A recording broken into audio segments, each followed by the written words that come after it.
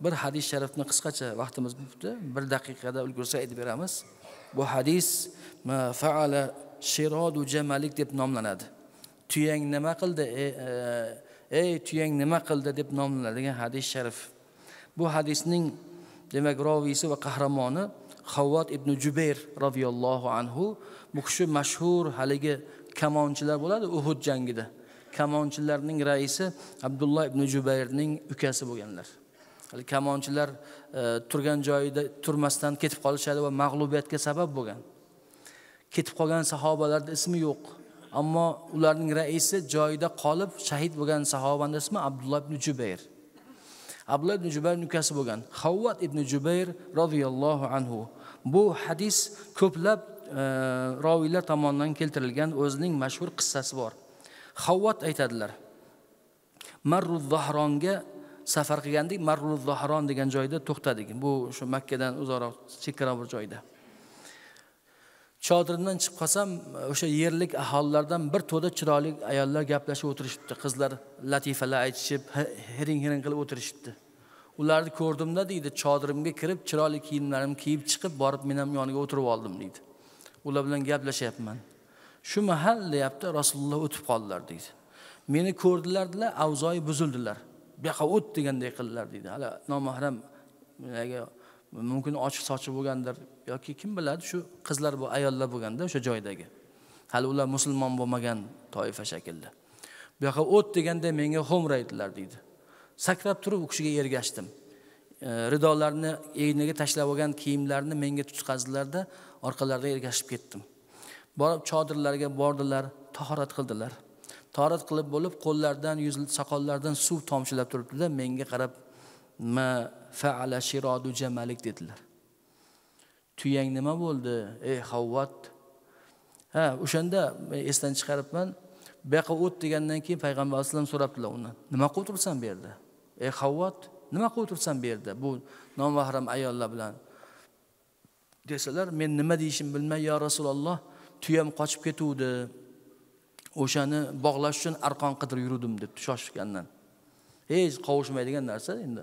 Rasulullohni ko'rib dovdirab qolgan. Tuyam qochib ketuvdi shuni bog'lash uchun arqon qidirib yuruvdim debdi ergashib ketdim chodirga borib tahorat qilib bo'lgandan keyin shu gapni aytdilar. Tuyang nima bo'ldi? dedilar. Men shu qadar hijolat bo'ldim. Keyin e, safardan qaytyapmiz makkaga e, madinaga qarab shu gapni tinmay aytadilar. Meni ko'rsalar bo'ldi. E havvat tuyang nima bo'ldi deydilar deydi. Hijolat bo'lganimdan rasulullohdan qochadigan bo'ldim deydi. Borib madinaga bordikda deydi rasulullohdan uzoqlashib ketib qoldim deydi. Tuyang nima bo'ldi tuyang nima bo'ldi degan gaplardan bezor bo'ldim deydi. Bir kuni rasulullohni masjidlarini sog'indim. Chunki uzoqda yuribman rasulullohdan uyalyapman dedilar.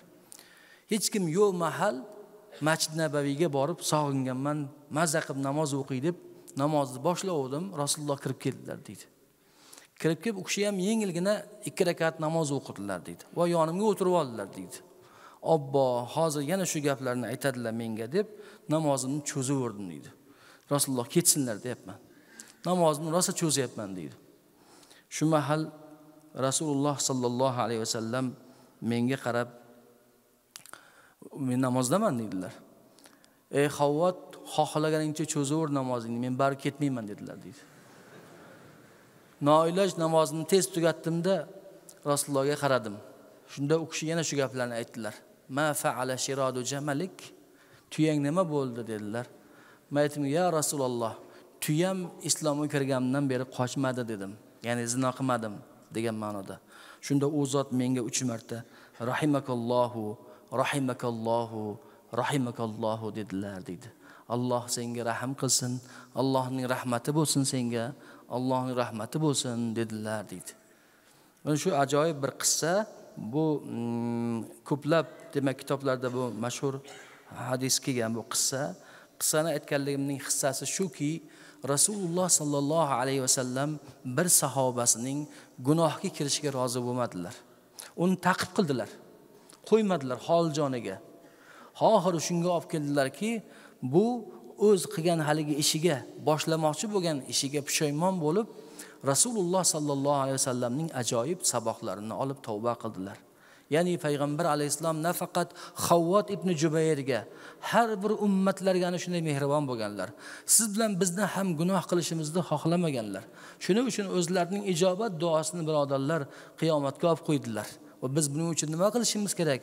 Rasululloh sollallohu alayhi vasallamga har doim salovat aytishimiz kerak ekan.